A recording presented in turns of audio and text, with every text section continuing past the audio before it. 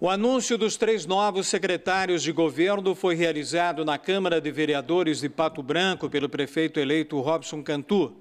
Cláudio Miller, na Secretaria de Desenvolvimento Econômico, Marinês Boff Gerhard, na Secretaria da Mulher, que será criada, e Gilles Balbinotti na Secretaria de Desenvolvimento Tecnológico. É um momento de felicidade de ver pessoas tão importantes aceitando um cargo tão significativo para a nossa grande administração.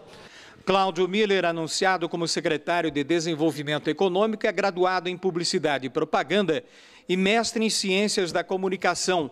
Falou sobre o novo desafio que vai enfrentar e a prioridade que pretende se dar ao apoio a micro e pequenos empresários locais. Nós estamos numa situação de vulnerabilidade social muito grande, onde os que mais sentiram né, é, o baque da pandemia foram os pequenos e microempresários.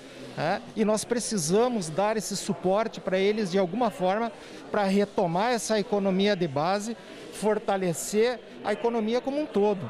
Marinês Boff Gerhard, atual vereadora, assumirá a Secretaria da Mulher a ser criada com desafios de criar uma estrutura de apoio às políticas de inclusão social da mulher, principalmente as mais vulneráveis. Nós precisamos de um ambiente físico. O ambiente físico ela tem que ser um ambiente acolhedor para que essa mulher também venha até nós. E daí a gente pensa em ser uma casa, um ambiente onde essa mulher se sinta segura para vir, porque às vezes ela não relata na delegacia a violência, ela vai relatar para uma outra mulher num ambiente físico, onde ela se sinta segura, tranquila, sem holofotes, sem alguém perguntando se doeu, se bateram bastante.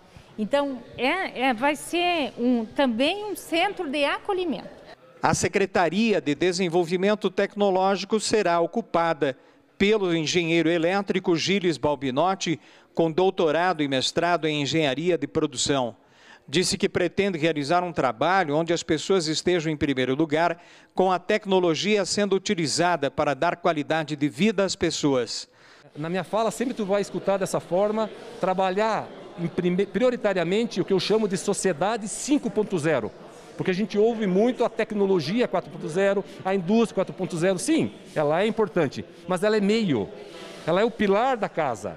O telhado da casa, que são os propósitos, são as pessoas. E, por, e, e, da mesma forma, a base dessa casa também são as pessoas. A tecnologia também.